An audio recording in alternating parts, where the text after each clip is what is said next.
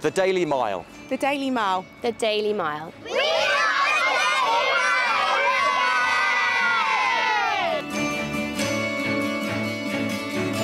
Today we're launching the Daily Mile. It's already gone out in Scotland and it's basically an initiative to encourage kids to do a bit of exercise. The Daily Mile happens in school or nursery. The children go out for 15 minutes a day to walk, jog, run, averaging a mile in almost all weathers.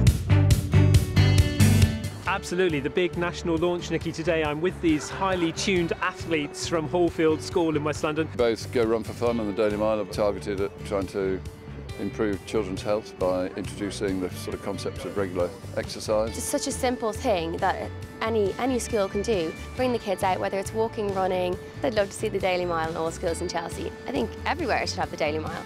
The Daily Mile also is a free way to sort of tackle obesity levels uh, and increase fitness uh, awareness in children and start to build some really good habits. The atmosphere was great and they seem so happy to be doing it as well. They seem so like upbeat and they're cheering each other on and even though it's cold today. it keeps your body healthy and it makes you fit. It helps us refocus to our learning.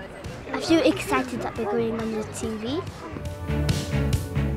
I wouldn't have become a professional sportsman if it hadn't been for my PE teacher seeing I had far too much energy and channeling it in the right directions. I would say to head teachers who don't have the Daily Mile already in their schools to give it a try. It's completely simple to implement, it costs nothing and ensures that every child in the whole of the UK has good health outcomes for the rest of their lives.